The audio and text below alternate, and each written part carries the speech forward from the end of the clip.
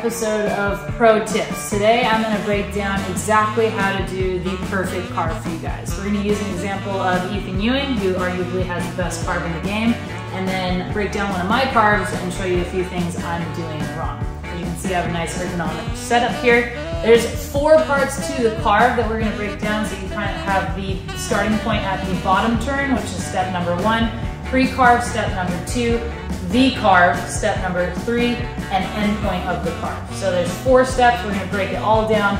Check out the video to learn exactly how to do the perfect carve. Okay, so first thing with the carve, we're gonna start with step number one, which is the bottom turn.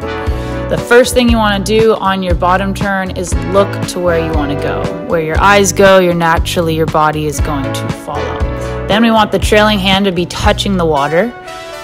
Chest is gonna be as close to the water as possible, and you wanna bend your knees in a springy like position at about a 90 degree angle. So, Ethan is keeping his knees bent at a nice angle. The more your knees are bent, the more power you're ultimately gonna have out of the lip. So, it's super important to keep yourself nice and springy um, and bent as you come off the bottom. Still eyeing off the section where your eyes go, your body goes, and ultimately your board is gonna go. And so we wanna hit that perfect part of the wave to get the perfect carve. As Ethan kind of comes up here, you're gonna see his back arm extend, and that's kind of, he's using his back arm here as kind of a wind up mechanism. His front arm is gonna stay nice and relaxed and kind of just loosely guiding where he wants to go and his surfboard.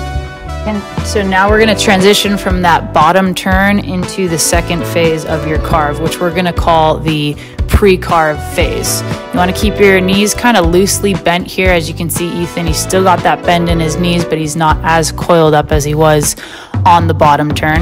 As you get about three quarters up the face of the wave, you wanna start to focus on the path of your carve.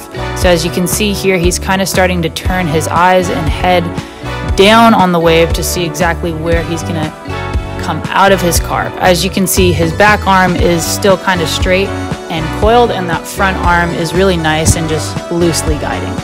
Now you can see he starts to put pressure on that back foot, which means he's gonna start to pivot the board in a second and ultimately come into that carve. As you can see at this point, Ethan's trailing arm is gonna rotate upward. So he's now lifting that back arm up and his front arm is still guiding down towards where he's gonna carve. This is now step three, which is the apex of the carve. His knees are bent, not as bent as he was when he was doing his bottom turn, but still nice and loosely bent. You can see his chest is starting now to open up and go towards where his eyesight was and ultimately his carve. And one of the things I like about this here is you want to pretend like you're holding a big fitness ball. That's going to help you keep your arms exactly where they want to be and guide your chest in the right direction. As you can see, Ethan's head is still looking to where he wants to go and his arms are still holding that fitness ball, that imaginary fitness ball. His knees are nice and bent and he's coming into the main power source of his carve.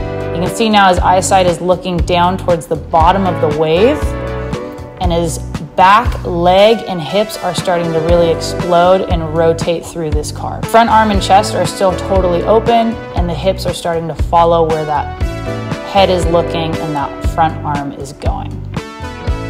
As you can see here, something Ethan does really well is that he rotates his back knee in, kind of like a knobby knee style, which ultimately is going to help him turn his back hip inward and utilize that main power source he has of his hips through the carve. His front arm is still guiding, and now his head is looking directly down to where he's going to want to finish up his carve.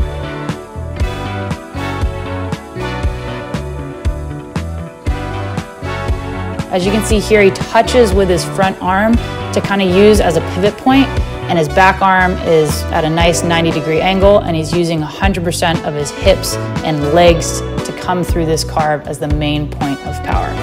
Still holding his imaginary fitness ball, it's a really good one to keep in mind as you're doing this. You kind of want to keep your arms in that position the entire time through the main apex part of your carve and he's really driving with his hips, particularly his back hip and back leg. That's his main power source through the carve, which is gonna make it look and feel really, really explosive.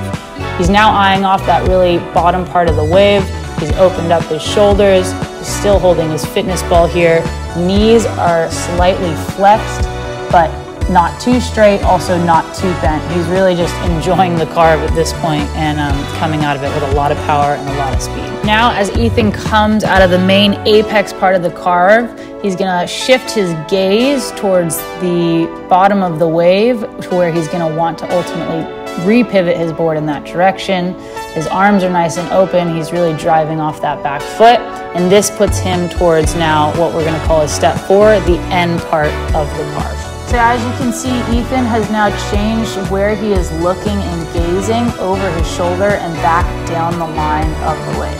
That is gonna help him transition really nicely here. He's gonna finish up his carve about halfway down the wave, not at the very bottom. Because if you finish at the very bottom, you're more likely to lose all of your speed. If you finish kind of where he does, halfway up on the wave, you're gonna keep your speed flowing into your next bottom turn and next maneuver. As you can see too, his knees are nice and fully flexed at this point. He's coiled up and ready to go into that very next bottom turn and whatever maneuver choice he has in mind. So as Ethan finishes up his carve here, again, he's looking now exactly where he wants to go, which will be directly into the next bottom turn. And it's really important to finish up that carve about three quarters to halfway up the wave so you're not losing all of your speed. As you can see, he's already eyeing off his next section and he goes into a really nice maneuver. Okay, so now we're gonna go into one of my carves. We're gonna start again with step one, the bottom turn. As you can see here, my eyes are looking to where I want to explode off the lip, which is good. My knees are bent but not fully bent, not as bent as you would have noticed Ethan was, which is something I really need to work on. Therefore, you can see that my chest is not quite as close to the water or the wave as Ethan's was. So if I bend my knees a little bit more, ultimately I should be able to get my chest closer to the water, which is what I want. My hand positioning here is pretty good. I'm placing it kind of at that very bottom part of the wave, and it's gonna help me pivot off my rail here off the bottom turn to go to where I'm looking. Something to notice here is you can see I have less rail engaged at this part in my bottom turn than Ethan did. That is because I'm not as coiled as him and I have too much pressure on my back fins. So you can see my nose is sticking more out of the water and my rail is just less engaged. That's something I want to clean up and need to work on. The more rail you have engaged, ultimately the more control you're going to have. That's why you want more of that. As I come around here, once again, I have the same thing with my back arm. I have it nice and coiled up and it's ready to explode through the carve. My front arm is leading and in a relaxed position, which is good. I should have a little bit more knee bend coming through this part of the carve and I'm working on that, but this is really great to break it down so I can see. Uh, as we come into this next phase of our maneuver, we're gonna call it the pre-carve. So let's break this down. As we come out of our bottom turn and start our pre-carve, about three quarters up the wave, you can see my chest start to open. I have my back arm nice and bent and my leading arm is kind of relaxed. My chest is starting to open up. My eyes are still looking at the top of the wave where I want to hit it and start my main part of the carve. My head, however, is kind of starting to look down already to where I'm gonna end my carve.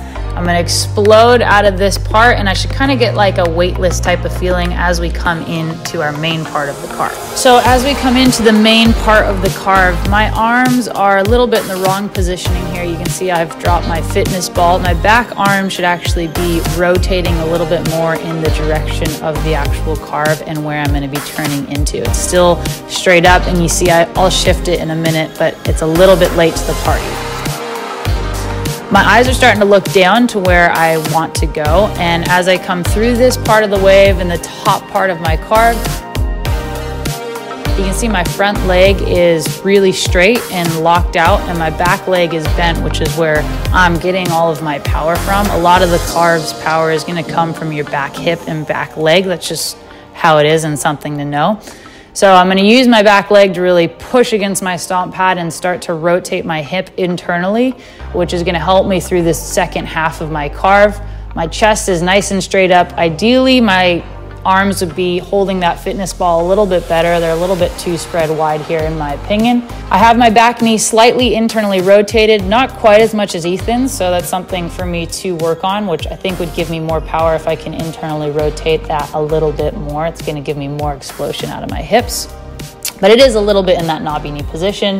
You can see my arms are in a nice position now and I'm looking at the end point of my carve, which is gonna be the last part of this carve. As I'm finishing up this main part of the carve, you can see my eyes are looking down to where I wanna go, but quickly transitioning is my head and my eyesight. I now turn my gaze towards where I want to start my next bottom turn and I'm gonna open up my chest so it's gonna finish up my carve and I don't just keep going towards the bottom of the wave.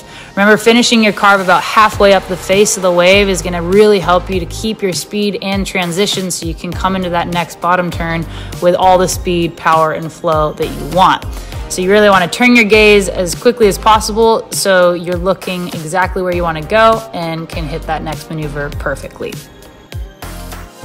Okay, so thank you so much for watching, you guys. I really hope that you enjoyed the video and you found it beneficial. If you have any questions about it or aren't sure about something, please leave a comment below and I promise I will get back to you. Or if there's something that you want to learn or see, also leave a comment and I'd love to make a video about it for you on pro tips. Um, if you haven't already, please do like and subscribe. It really helps us out so we can keep making these videos for you guys every single Thursday. And um, yeah, we'll see you next week.